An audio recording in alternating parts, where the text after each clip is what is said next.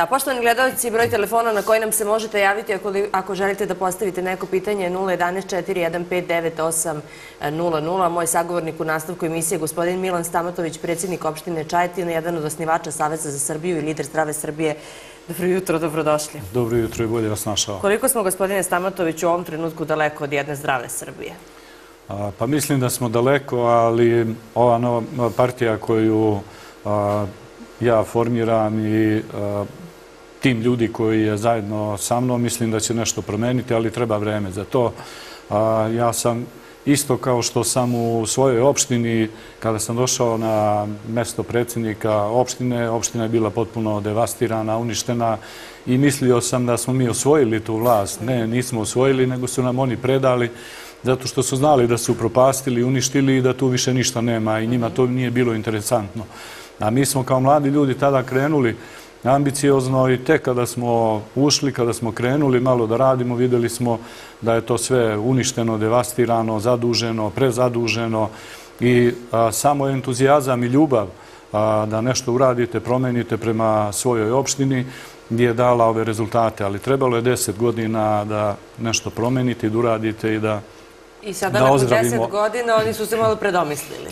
Pa nisu se, naši se dole nisu predomislili, mhm. ali Nadam se da, eto, kažem, tim pozitivnim primjerom kako smo u jednoj maloj sredini na mikroplanu uspeli nešto da napravimo, a, kažem, lokalne samuprave su ogledalo države u malom. Tako da mislimo da ovo što radimo sada, da zdrava Srbija i ovo što mi nudimo može da vrati poverenje naših građana i možemo nešto da promenimo, jer znamo kako treba, imamo iskustva i imamo dobre namere, nemamo ništa iza toga neke skrivene i svoje lične ambicije, tako da eto, mislim da ovaj Savez za Srbiju i Zdrava Srbija mogu nešto novo da donesu Srbiji. Zdrava Srbija širi svoje delovanje i sa tim u vezi otvrte kancelarije sada po, po čitavoj Srbiji, je tako?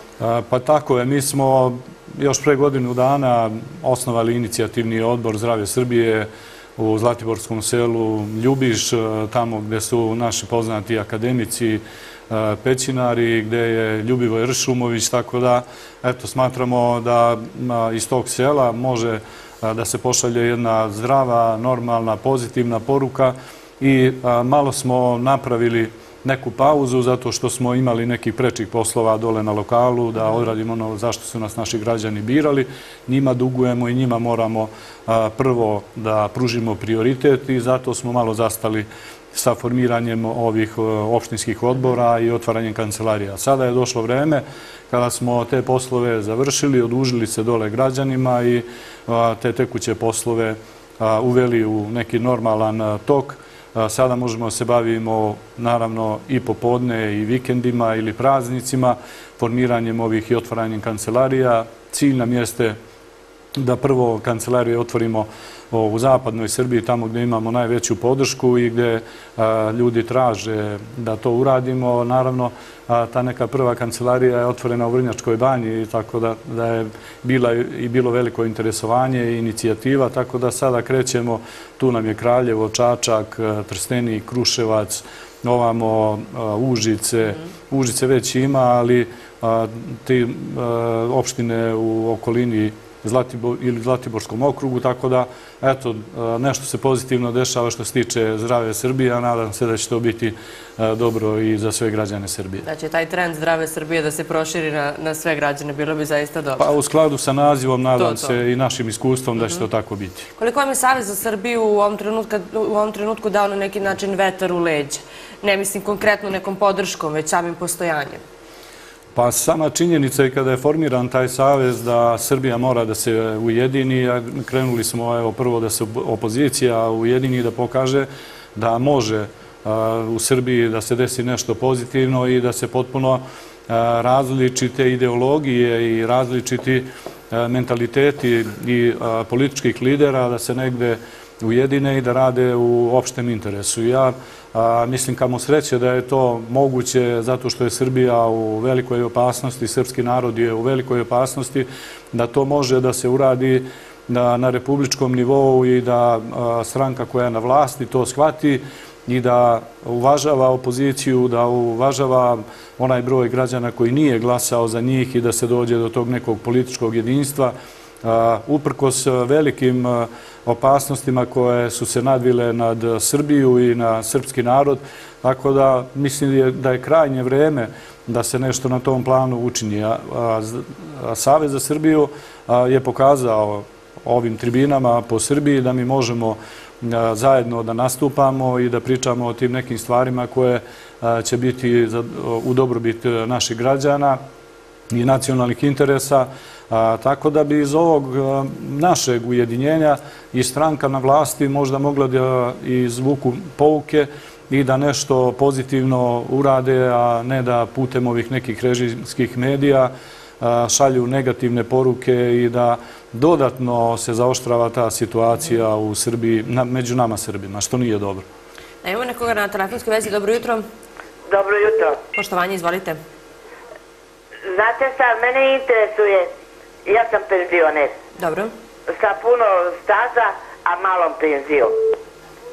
Dobro, kažite pitanje. E, sad me interesuje odakle je pronosio ti 3000.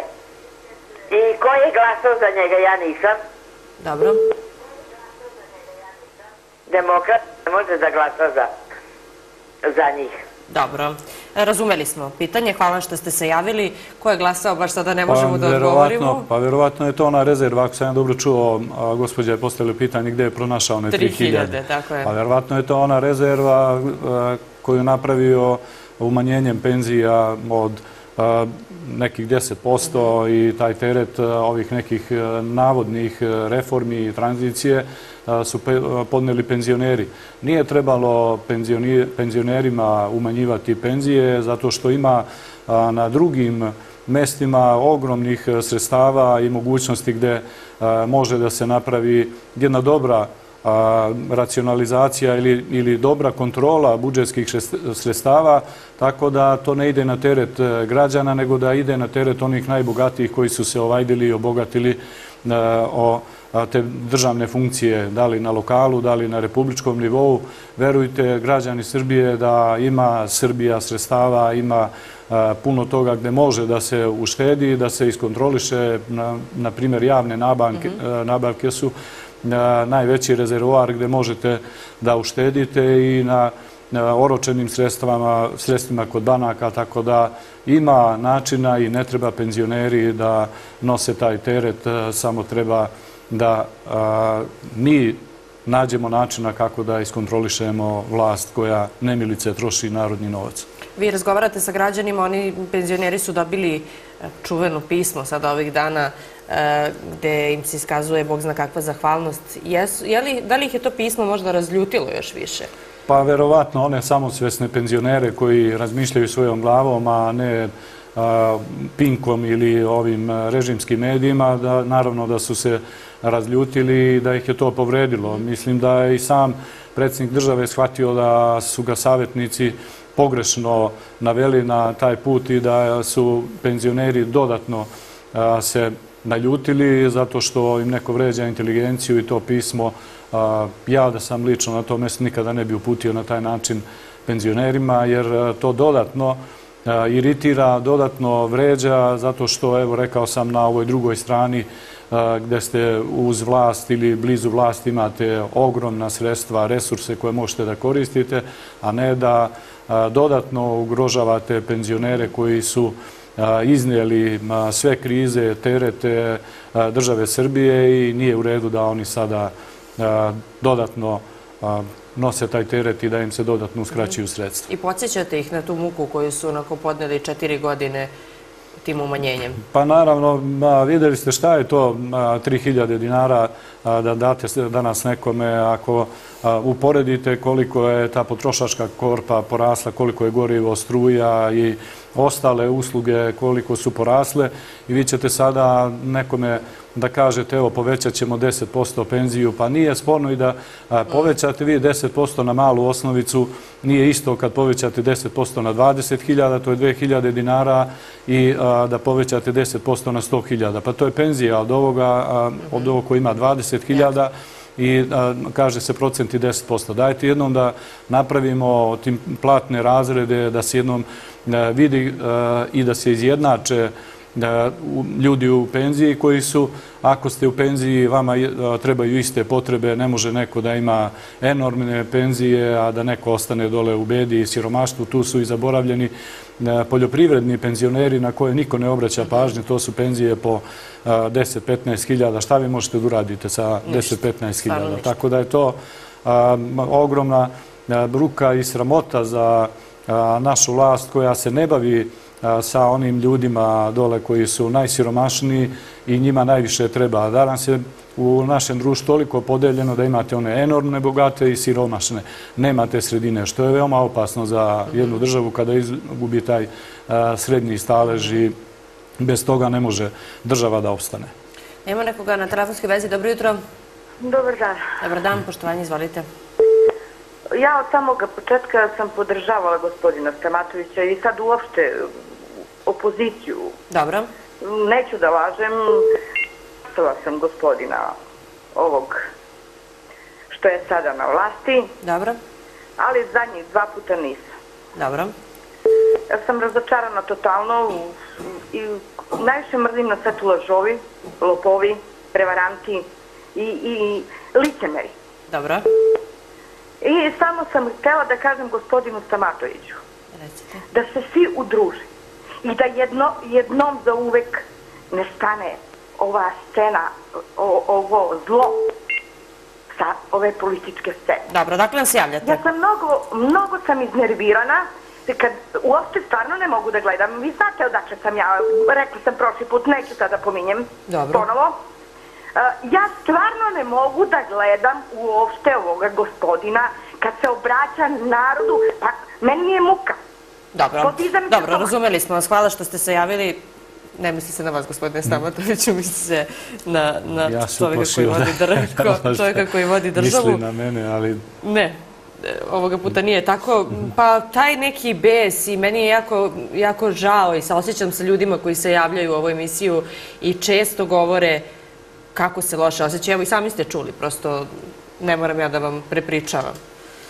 Pa ja mislim da bi mnogo... Je to opšta atmosfera koja vlada? Pa naravno da jeste opšta atmosfera. Ako ste vi stalno u dodiru sa narodom i živite taj život, a ja sigurno ga živim zato što sam stalno među tim ljudima i znam njihove muke, mada moram da kažem da opština Čajetina i Zlatibor, zahvaljujući tom nekom dobrom ambijentu, nisu ti tipični predstavnici današnjih prilika u Srbiji. Tamo se mnogo bolje živi, ljudi su bezbrižni zato što je stvoren taj neki pozitivan ambijent i atmosfera gde može da se zaradi i pristojno da se živi od svog rada. Tako da su, evo kažem ti, vispreni zlatiborci ili oni investitori koji su prepoznali ono što nudi opština Čajetina, da su svoj biznis i svoj novac preusmirili na Zlatibor ili na celu teritoriju opštine Čajetina gde imamo i proizvodne pogone, imamo turizam, tako da da se tamo to manje osjeća, ali kad se pomerite bilo gde neki 20 km prema Priboju, Novoj Varoši ili Užicu ili Kosjerići u Bajnoj bašti, vi vidite da nije takva atmosfera i da je tamo da se tamo veoma teško živi i da je to neki privid samo koji se nama plasira putem ovih režimskih medija.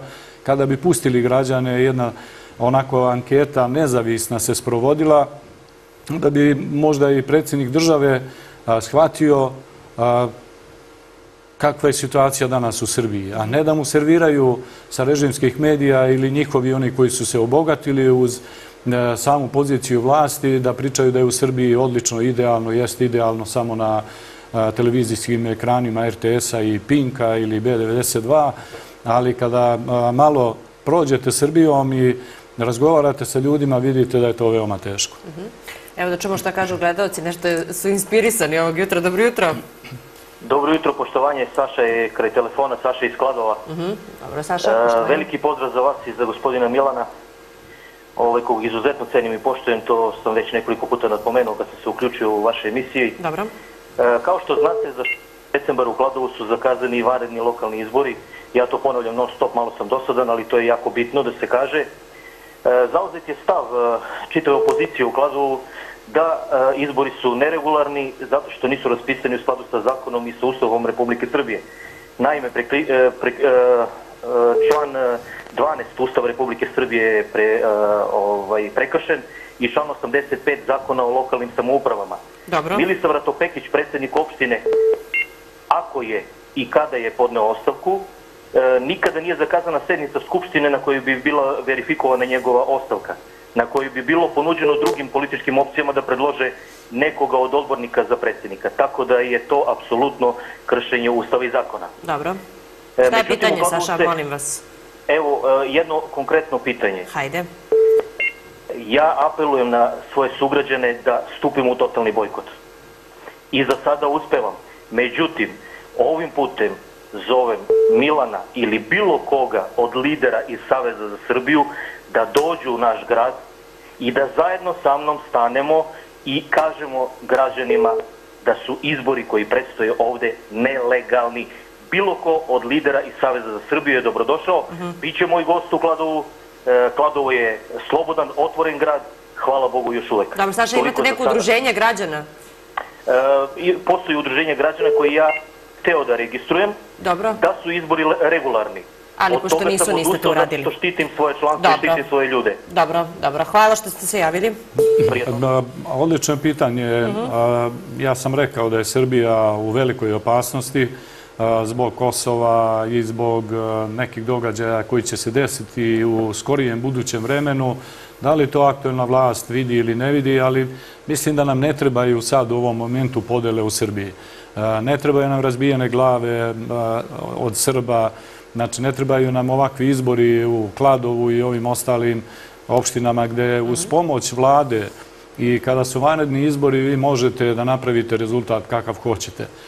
Meni je žao što nismo uspeli tu da se možda složimo i kompletna opozicija da traži izmenu a, ili da se poštuje makar sadašnji izborni zakon, jer i on nije loš, ali ako se zlupotrebljava, onda to nek, ode u neku drugu krajnost. Ali mislim da kompletna opozicija treba da stane na jednu stranu i da traži od aktualne vlasti da a, se ovi ispoštuju demokratski principi, da se oslobode mediji i da se na jedan kulturan, civilizovan način pošalje poruka i samom Aleksandru Vučiću i premijerki Brnabićki, da se prosto napravi da jedan dogovor ako hoćemo da idemo u napred i da uvedemo tu demokratiju i da ne lupamo jedni drugima glave, a ovako kako je sada postavljena ova organizacija i kakve se ponovo poruke šalju putem medija, mislim da će biti izlupanih srpskih glava u budućnosti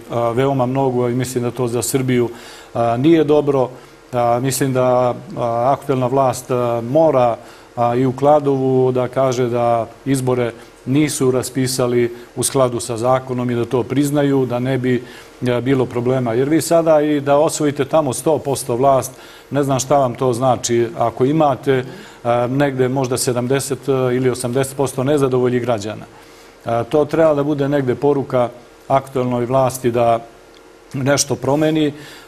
Opozicija ima svoj posao, ima svoj zadatak i obavezu da dođe na vlast demokratskim e, principima, ali, ali ako se ovako dešava da se u ovim pojedinim opštinama na nezakonit način raspisuju izbori, ako ovamo gde je na zakonit način gdje su redovni i padaju lučanima, dolazite u situaciju da razmišljate da li će eh, vam neko razbiti glavu, da li će izbiti neki incident, da li će se vršiti pritisak na one građane koje rade ili koji su zavisni od eh, javnog sektora.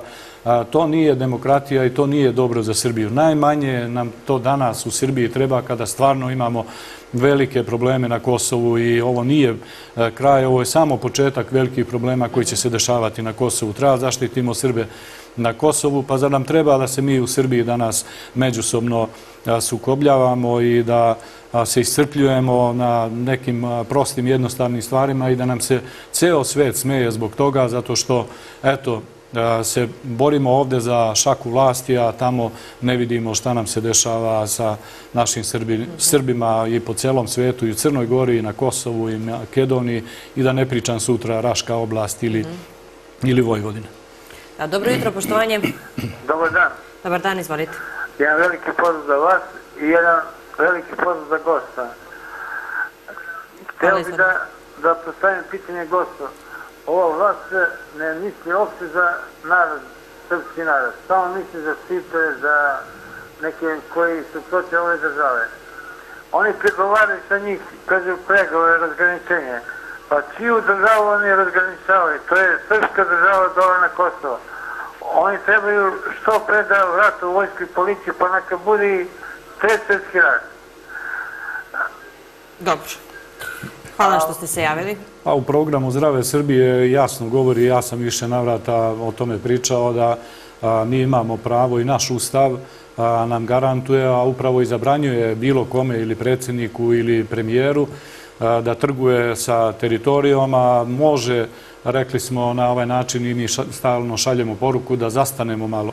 E, sada sa tim rešavanjem, e, znate i sami da je premijer, tadašnji i sadašnji predsjednik, e, išao u nekoliko varijanti ne pitajući građane o tome, ne konsultujući se sa narodom šta treba da radi ili sa strukom, makara bi on bi trebao da zna pravnike po struci na šta ga obavezuju zakoni i ustav. Tako da njegovi savjetnici koji mu podmeću tamo neka druga rešenja ili razgraničenje, mi nemamo pravo na to, moramo jednostavno da poštujemo e, naš ustav, jer ustava je zagarantovano da je e, Kosovo deo Srbije i nema niko pravo da trguje sa tim. Naravno da e, sada neko pokušava da prikaže to na jedan drugi način u nekim našim neslaganjima i unutrašnjim problemima da reši to pitanje i da odvoji deo Kosova što bi mi makar tu mogli da se ujedinimo ako je sam premijer, predsjednik Aleksandar Vučić nudio taj dijalog sa svim institucijama, sa opozicijom, pa zašto ga jednom ne ponudi i ne sednu svi za pregovarački sto i zauzmemo zajednički stav kao što to rade Albanci. Zar ne možemo ništa da naučimo od njih dole? Oni se možda međusobno malo posvađaju, ali kada je taj njihov nacionalni interes, oni su tu jedinstveni. Mhm. Tako i ne samo oni, nego svi. Svi narodi su sigurno po tom pitanju jedinstveni ako uzmete velike sile, ali zašto to nama imputiraju, zašto Srbija ne može na taj način da kaže da stanemo jednom pa da vidimo kako će se odvijati situacija na tom globalnom planu, pa da mi čekamo to vreme kada bude došlo do tamo raspodele snaga i novih sigurno strateških e, rešenja na svetskom i evropskom nivou i da se mi tu negde nađemo i uklopimo, a da ne žurimo, mi uvek trčimo negde pred rudu. Da, ako sam dobro razumela iz ovog vašeg izlaganja, poštovanje je reč koja nedostaje. Poštovanje ustava, poštovanje, odnosno sprovođenje zakona. Samo kada bismo poštovali neka već napisana pravila, odmah bi nam bilo lakše. Ne treba ništa novo da se dogodi. Pa Ili treba i nešto novo? Pa da idete, samo to. Pa, ta retorika koju aktualna vlast i u Skupštini videli ste na koji način nazivaju, diskredituju ili se odnose prema opoziciji. Naravno da aktualna vlast je vlast koja treba da šalje poruku. Naravno ne možemo mi sada da diktiramo to a da njima bude razlog, kaže, pa ovi prethodni koji su ostali danas u manjini, neki su otišli sad su u SNS-u, ovi neki su ostali dole u manjini, pa kaže da je to bude razlog, a vi ste se ponašali prema nama dok ste bili na vlasti isto tako. Ali ako hoćemo nešto da promenimo, ajde dajte vi sada koji ste na vlasti, pošaljite drugačiju poruku, poruku tolerancije, mira, pružene ruke, ne da kažemo, e, ovome Borku Stefanoviću je razbijena glava, ali kada je u vreme Borka Stefanovića su razbijene glave, ali Borko Stefanović nije nikome razbio glavu. Zašto njemu da razbiju glavu ako je neko drugi razbio to nekome glavu u tadašnje vreme u ime, ne znam, DS-a ili DSS-a, pa ne mogu biti svi krivi za to. Ne mogu ja biti kriv ako nisam bio uopšte tu.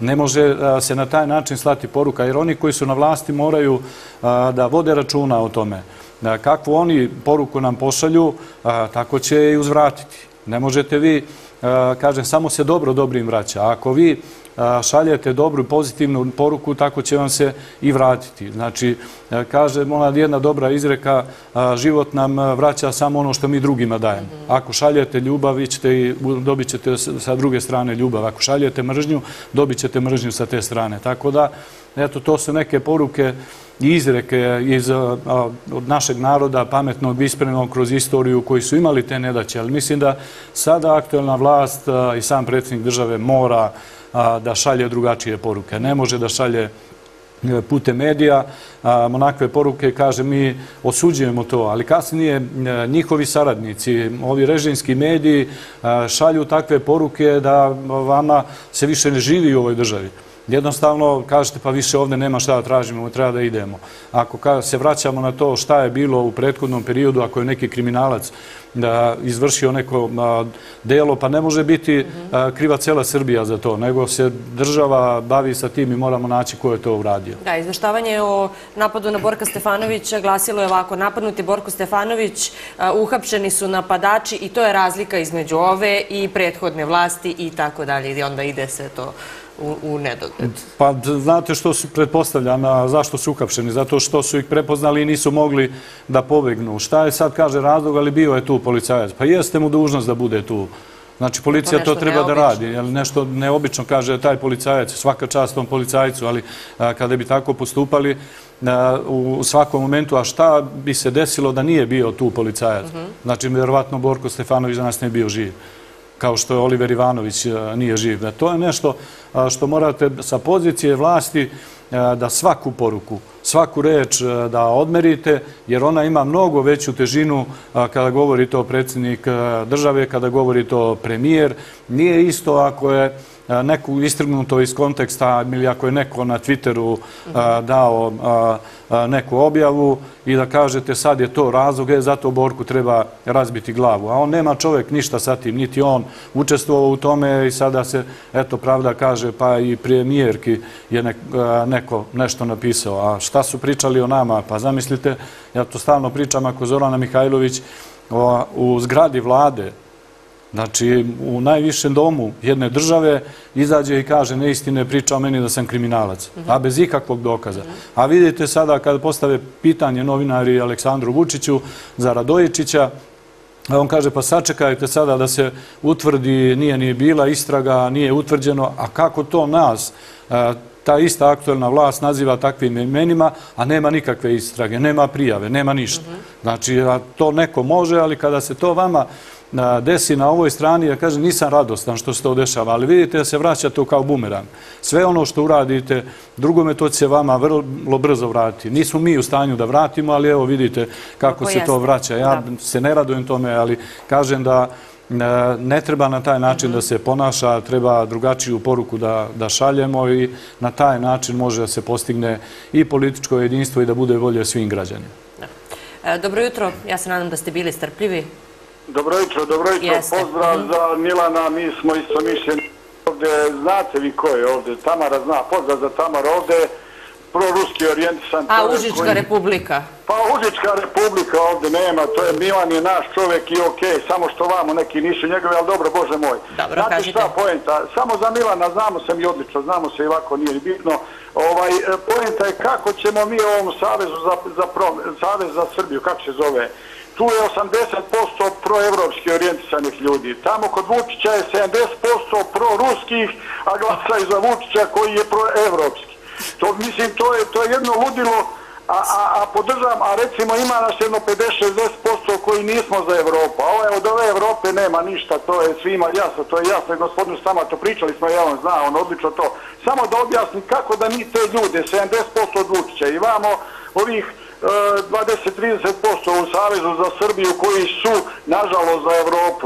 Ja ne zovem njih evropejci, to su evro, e, evrobolesnici, nisu evropejci. Dobro, Pozdrav, Milane, pa eto, čisto onako još jednom napred, samo, a gondolu kad napravimo, tamara će se džabe voziti, nije problem, prijatno živjeti. Pa isto što ste rekli, držimo za reč. Hvala. kažite Pa, jeste to malo teško građanima objasniti. Česta su ta pitanja na ovim tribinama, ali ma, samim osnivanjem Saveza mi smo se dogovorili a, da a, stanemo sa tim i ovi koji su za Evropsku uniju da na, zastanu malo sa tim i mislim da su a, većina lidera shvatila da Evropska unija ima ogromne probleme, videli ste i sad sa Brexitom, vidjet ćete i tu i Mađarska, Poljska, Austrija, Francuska će sigurno u nekom budućem vremenu veoma brzo shvatiti da ima silne probleme i tako da će se sigurno praviti drugačija podela karata u Evropi i zato mi se zalažemo i Zdrava Srbija o tome govori i u svom programu to stoji, da zastanemo malo sa tim tim našim ulaskom u Evropsku uniju, da vidimo kako će se te karte otvoriti na tom globalnom nivou i mislim da je tu naša šansa. I ovi lideri danas e, Saveza za Srbiju su to shvatili i mislim da je svako od njih na svojim glavnim odborima e, doneo i postigao to neko jedinstvo da se zastane e, sa pričom o Evropskoj uniji, da bude prva tema naše Kosovo i oni su jedinstveni bili da Kosovo mora ostati u sastavu Srbije i ako su pojedini lideri učestvovali tada i u Demokratskoj stranci Srbije, i u Demokratskoj stranci, u, a, bilo i u drugim političkim partijama tih ljudi, tako da, da ove neke političke partije su nastale a, iz DS-a ili iz DSS-a, tako da tu neće biti sigurno program, ali, problem, ali ovo što, što vi govorite da, da Tu ste se nasmijali za Vučića, ja? Pa za Vučića i za tu politiku Srpske napredne stranke koja je bila, znači, možda i 100% ti njihovi glasači su okrenuti ka Rusiji, a imate jedan absurd sada da su oni najveći evrofanatici što se tiče aktualne politike. Ja ne znam kako oni to peglaju sad u, u stranci i kako to njihovi glasači prihvataju. Zato ima Zdrava Srbija koja nudi jasan i zdrav program i mislim da u nekom budućem vremenu ovo što mi govorimo da će sve više e, dobijati na značaju i da će ljudi shvatiti da mi nudimo nešto što je danas potpuno realno i moguće u politici i srpskoj i naravno i na globalnom nivou gde će i ovi naši prijatelji i velike sile to shvatiti, a naravno morat će da shvate i ovi koji su protiv nas. Prvenstveno to mislim da na Nemačku, Nemačka nikad nama ništa dobro nije mislila i nikada ništa dobro nismo dobili sa te strane. Ako predsjednik e, države misli da je to dobro što Nemci otvaraju ovde njihove neke fabrike, a obično tamo su ljudi zaposleni sa niskim ričnim dohodcima i to je manuelni rad, tako da njima nije potrebno to u Nemačkoj, da tamo tu vrstu proizvodnje podstiču, već imaju ovdje jeftinu radnu snagu i jeftino i zemljište i benefite, naknade. Ne morate da poštujete one evropske standarde što se tiče zaštite životne sredine, tako da je to njima interesantno i zato dolaze. Ali nije to interes Srbije. Interes Srbije jeste da zaštiti svoju proizvodnju, svoje proizvode i svoje nacionalne interese. A kako ćete zaštititi nacionalne interese ako budemo više obratili pažnje na naše proizvode, na naše dobre proizvođače, na naše kompanije i Zdrava Srbija to nudi i Savez je negdje za Srbiju u svojih 30 tačaka to ponudio i mislim da treba to poštovati. Mislim da je to neka šansa i budućnost Srbije.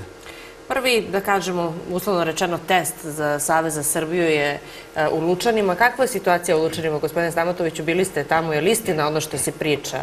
Cepaju se neka drva, farbaju se ograde, čiste se štale. Je li to moguće? Pa jeste, nažalost, kažem da to nije dobro. Nije to dobra poruka. Nije to demokratija. Shvatit će ti ljudi veoma brzo koji zavise od e, fabrike municije Milan Blagojević u Lučanima. Ako imate tamo negde oko hiljadu zaposlenih, pa ako imaju oko 80.000 platu koja je podignuta i podiže se malo pred izbore, čim prođu ti izbori, verovatno će oni biti u problemu i shvatit će da su prevareni. Ali e, vi te ljude ne možete da ubedite, u ogromnom su strahu, e, skidaju se ljudi sa pojedinih ovih političkih partija gde su stali na tu listu, pa eto, nađe se načina mm. kako da ih uplašite ili odgovorite da siđu sa te liste, što nije dobro za demokratiju, nije dobro za budućnost Srbije, kako god da se završe ti izbori. To neće biti čista ravnopravna utakmica i uvek će ostati tamo negde podele među tim ljudima, ovi koji znaju da to nije dobro, uvek će možda i glasati, ali će negde potajno kritikovati. Mislim da to nije cilj da budete na vlasti. Ako neko pod pritiskom za vas glasa da dođete na vlast, a kasnije kad treba da sprovodite nešto, vi ćete imati te probleme ili kad se zaboravi. Ili kad ode ta politička partija sa vlasti, onda ostaju ti problemi. Ti ljudi koji dolaze danas iz Pančeva, iz Vršica, koji, evo, kažem, su zakupili hotele u Ivanjici, iz Ivanjice odlaze ovamo u kampanju i to što vi govorite da da cepaju drva, pa nekud smeju se tamo ovi ljudi da zajedno odlaze i na sahrane, pa na sahranama sprovode kampanju, što, eto, kažem, je onako crni humor da se i to dešava, ali Nažalost, ja sam ih tamo video, pa padne sneg, oni nesretnici dođu sa letnim gumama, ne znaju gdje će i šta će, će iz Pančeva i Vršca, ne znaju da voze po tim brdsko-planinskim područjima. Tako da je... Nemojte mi lede Pančevce da mi dirate. Ja se izvinjavam, nisam.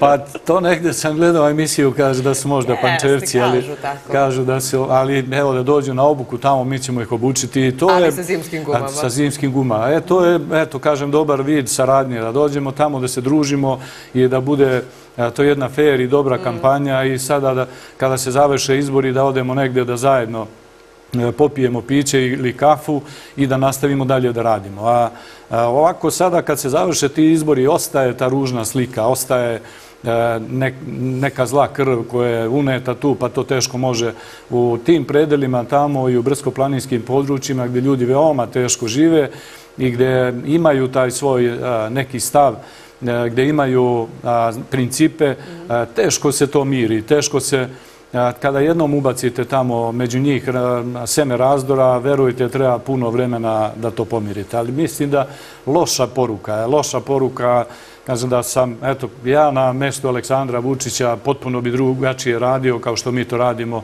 u Čajetini, mogu da dođu da nauče nešto od nas, kako smo postigli to političko jedinstvo i nemamo tih problema. Mi politički ne diskreditujemo ljude. Evo, navedem samo jedan primjer u jednom selu gdje mi nismo imali većinu glasova, ove godine su dobili najviše od opštine investicija. Tako se pogodilo. Možda su oni bili nezadovoljni što u prethodnim godinama nekako su možda druga sela dobijali malo više, pa nisu imali strpljenja da sačekaju. Ali evo, oni su na prethodnim izborima iz nekog revolta glasali protiv toga što mi nismo stigli baš da uradimo svima, pa smo ove godine uradili. I nadam se da će na nekim budućim izborima to biti i ispeglano ili tada će shvatiti da mi nismo imali lošu nameru, nego samo nismo mogli odjednom da stignemo da sve uradimo. E, imamo nekog na telefonskoj vezi. Da, dobro jutro. Dobar dan, Gorica sa Karabona ovdje. Dobar dan, Gorica. Pošto mi ovaj, neće da zadržava vezu, imala bih dva pitanja. Može. U stvari, bolje rečeno, više molba nego pitanja. Jedno, Tamara, za vas. Mhm. Prvo da vam kažem da vas jako volim, jer jako mi je loše od kako nisam bila bolesna, ovaj, od kako se čula ovo sam borka, stvarno mi je loše. E, vas Samara bih zamolila odavde do neba i nazad, pošto je gospodin Dejan Lukić bio više navete gost, ja sam Bogu hvala pogledala Dobro. E, svaku emisiju. Znači, njega sigurno poznajete, zato što ste ga naravno zvali. Dobro. Da ga pozovete ponovo i da ga zamolite tome da zapišite ime Branka Dragaša, to je inače njegov dobro, mislim, prijatelj. Dobro, da pozovemo Dragaša, dobro. Ajde, ja sam razumela. A druga molba za gospodina za gospodina ovaj, Kajtine, da ovaj, ovog slučaja se desio stvarno što da nije bilo razbijanih glava. Ja nisam plašila po prirodi, stvarno, ali da ne bi bilo dosta Srba poginulo, da ne rećemo sve se bilo, da zamoli ljude iz Saveza za Srbiju na čelu sa Vukom Jeremićem, da svi mi koji smo se uh, prijavili, da li za narodnu stranku, da li za Srbije, svako je dao neki svoj mobilni telefon, broj, fiksni i tako dalje.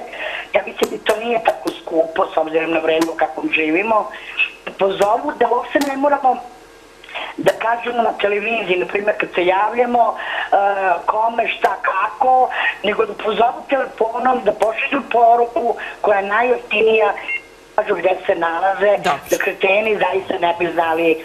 Puno vas volim, puno vas pozdravljam, svako dobro vam želim, ma gde bili. Dobro. Doviđenja i prijatelja. Hvala što ste se javili. Evo, gledateljka želi više poruka odjednom da prenese, pa suštinu ste Pa shvatili. dobro što se tiče. Lučića i Dragaša, stvarno srpski narod ima šta od njih i da čuje i a, da nauči. A, Nedavno se usretu sa njim u- na televiziji a, u Zrenjaninu.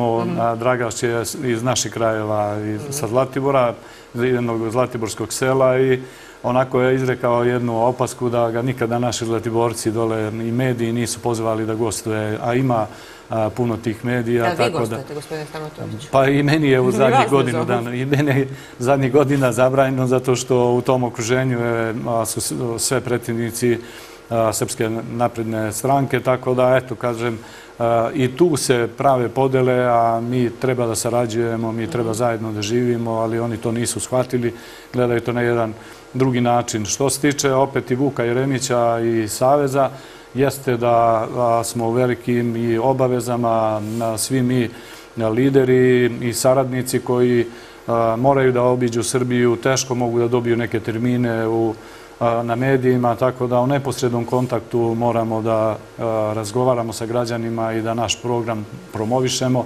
Verovatno Vuk Jeremić iz tih razloga ne stigne sve, ima obaveza i da se bavi malo i eto kažem i diplomatijom i to međunarodnom politikom i da otuda a, pravite ili razbija te neke loše poruke ili lošu sliku o Srbiji, tako da nadam se da ćemo nekako uspjeti da, da se izborimo i da napravimo dobar rezultat. Ili najbolje, da kažem, nebitno je više kakav je rezultat, nego je bitno da bude bolje Srbina.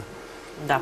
Ko će da razbije lošu sliku Vuku Jeremiću? Evo, posljednjih dana zaista onako dobio je nekoliko naslovnih strana prilično, ja bih rekla, u negativnom kontekstu. Pa to je, e, rekao sam, to je loše što ovi mediji ili e, štampani, znači tabloidi iznose takve neistine, neproverene istine, znači e, poluistine. Znači to je nešto što stvarno navodi ove ljude da sutra kada se pojavi Vuk ili bilo ko od ovih lidera ili običnih građana, ne pričamo o tome da li se bavi politikom, sutra možda bude neki glumac ili sportista ili voditelj, pa da isto to doživi što nije dobro na taj način da se objavljuju neistine. Zar ne mogu da sačekaju kad se završi istraga i pravosnažna presuda samo možda kaže da je neko lopov, kriminalac, da je zlopotrebio svoj položaj. Znači, to je nešto što a, može da se reši, mogu da se uzmu makar ovim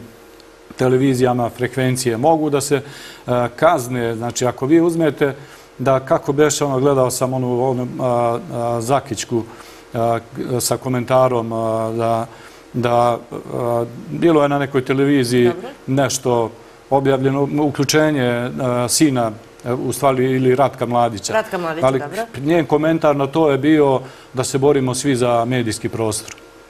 Zamislite, neko ko je zadužen da a, sankcioniše a, takve stvari i da opravdava to i da kaže mi se borimo svi za medijski prostor. Pa zašto vama ne bi bilo dozvoljeno da i vi objavljujete neke gluposti, ali naravno da a, svako odgovara za sebe. Ova televizija ima svoj neki rejting, renome i to treba poštovati, ali njima je sve dozvoljeno. Zamislite i da to opravda neko ko je zadužen za to. Ja sam doživeo te neprijatnosti eh, na kada smo eh, protestovali ispred Rema gdje Mona zastupa otvoreno interes eh, i kaže nama da smo mi kombi stranka. Znači, zamislite da neko ko je biran da zastupa, stav, da poštoje zakon, stane na jednu stranu i tako neke neproverene informacije. Milion stvari toga smo imali negde. Zamislite i mene na- kada se desili ti protesti i o tome pričamo pred Pinkom, da je novinarka Uzela stajala pored mene i niko je nije udario. Ja mene navodi tamo, ja sam pročitao u novinama, kaže stajao lider Zdrave Srbije Milan Stamatović pored mene kad sam udarena i nije htio da mi ukaže pomoć. A uopšte žena nije ni udarena. Znači, stajala je pored mene i provocirala non stop. I vi sad, i mi te snimke imamo. I sad kako da dokažete, a ja bih voleo da me pozovu na, na sud, pa da ja dam svedočenje, da mogu da svedočim i da kažem, ne da pročitam u štampi njihovoj režimskoj tamo da sam ja... Da ste vi bili pored i da niste ja htjeli da jesam bio pored nje i niko je nije udario. Mhm. Znači, to znam sigurno, znači, bio sam pored nje i niko je nije udario, nastali su kasnije problemi. To može na snimcima da se vidi, ne znam kako se zove druga novinarka, pričao sam o tome, je odgurnuta, vidi se razlika, ona je bila u crnoj haljini, ova druga je bila u pantalonama. Pa ko gleda snimke tamo, može lepo da vidi ogromnu razliku da je odgurnuta žena u pantalonama, a ne žena u crnoj haljini. Tako da, da je stvarno, ako hoće neko istinu, ako hoće neko da se, kažem, da se e, demistifikuje, znači te neke gluposti ili da se neko dodvorava ili da neke svoje gluposti e, tamo pokriva, kao što je to televizija Pink ili ovi tabloidi koji iznose e, neistine.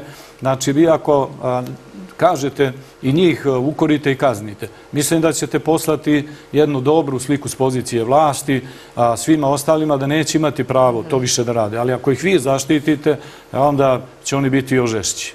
Dajete povodi drugima da se slično e, ponašaju. E, Trstenik, je li to sljedeći grad u kom će Savez za Srbiju imati tribunu? Jeste, u petak će biti ponovo u Kruševcu E, tribina i okupit će se tu ljudi da jednostavno iskažu taj protest i da se e, kaže, jednostavno tražimo ko su nalogodavci. Ja se često puta postavljam pitanje e, i za Olivera Ivanovića s vremena na vreme u svojim objavama, da se jednostavno ono što je čoveku urađeno u toj predizbornoj kampanji ili u prethodnom onom političkom životu, gdje su objavljivali sve i svašta. I to je bio razlog da sutra neko digne ruku na Olivera Ivanovića i oni spotovi koji su objavljivani, pa to je lako naći. Danas ako hoće neko da ne kaže dajte da vidimo ko je naručio prvo spot i ko je platio taj spot e, Pinku kako je objavljen taj spot tamo Pinku koji je kasnije uzrok e, bio da bude ubijen Oliver Ivanović. I to je danas veoma lako uraditi. Ako hoće naša država da se pozabavi sa tim i da skinemo odgovornost sa ovih pravih, kako hoće Aleksandar Vučić i Srpska napredna stranka, da skinu odgovornost sa sebe, Ajde da nađemo ko je to uradio. Ajde sad ove momke koji su, video sam tamo da su mladi, i da vidimo ko je njih e, nagovorio. Ko nije to njima došlo sad, ne bave se politikom, pa da pretuku Borka Stefanovića. Ako se ne bave politikom, za šta je razlog? Da li se Borko bavi nekim drugim poslovima, da li je u kriminalnom nekom miljevu, ali ako neko kaže Ako Zorana Mihajlović kaže da sam ja kriminalac, evo vidite šta može da se desi. Onda će neko da izvrši napad na vas i kaže šta se desilo, ma to je obračun tamo nekih kriminalaca. Znači, zamislite kakve su to poruke. Oni ne razmišljaju o tome e, kakvu poruku šalje i kakve su to posljedice. E, ovdje je Bog samo spasio Borka Stefanovića da čovjek nije e, stradao. Ako vi nekoga udarite u potiljak e, metalnom šipkom, pa to nije lakša povreda, moramo da se složimo sa tim. Znači, to je pokušaj ubijstva. Tako je. E, hvala gospodine Stamatović. Evo pozivamo sve da dođu u Trstenik, Kruševac. Kruševac i Leskovac, čini mi se, možda sreda. Leskovac je bio. A bio je Leskovac, dobro. Ne mogu ni ja da zapamtim, aktivni ste mnogo, ali u svakom slučaju vama mnogo hvala što se odazivate mojim pozivima i hvala što ste i ovoga trebili sa nama. Hvala i vama na pozivu i na razumevanju. E, poštovani gledalci, hvala i vama na pažnji. Ja vas pozivam da i sutra od 10 časova budete uz program naše Balkan televizije. Doviđenja i prijatno.